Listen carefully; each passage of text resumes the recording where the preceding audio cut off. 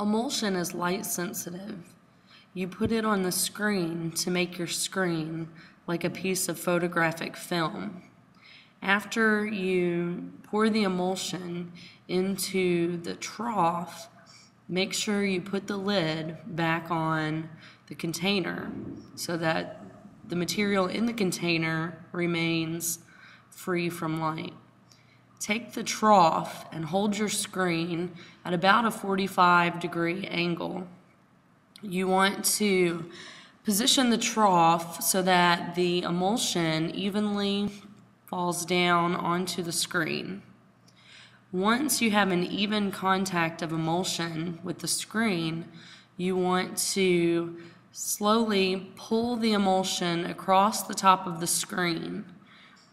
At this point, tilt the trough back, let the emulsion fall, and then you can either turn your screen and go in the other direction or coat it again.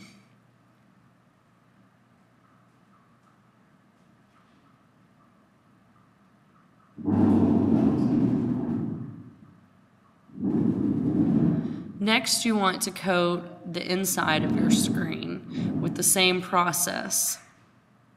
When coating your screen, you want to make sure you start with a clean screen and you also want to make sure it's dry. You want to do this process quickly because as I said earlier, it's a light sensitive material.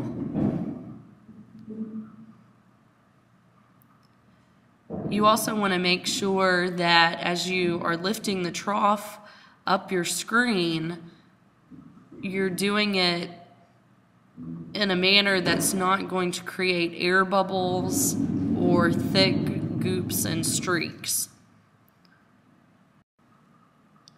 After you have applied the emulsion to the screen, take your screen into the paper storage closet there's a fan and you'll turn on the fan. It's on a timer that runs for an hour. You'll place your screen in the storage unit. Once your screen's in the storage unit, make sure that you put your name on a piece of tape and put your name onto your screen so that you can tell your screen from other people's screens.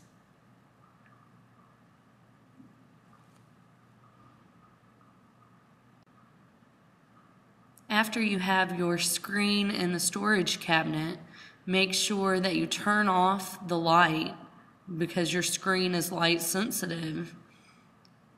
Make sure you have the fan going and shut the door.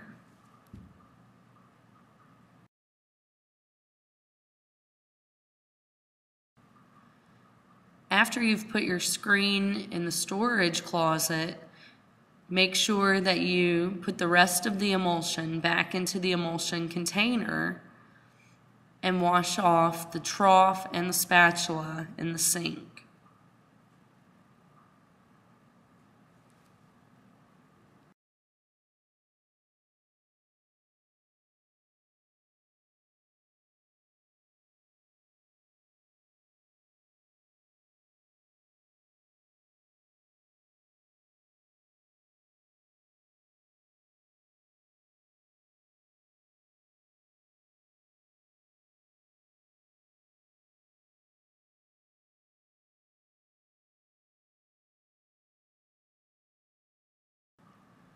The trough and the spatula can be cleaned using water, a scrub brush, and solvent that can be found within the sink.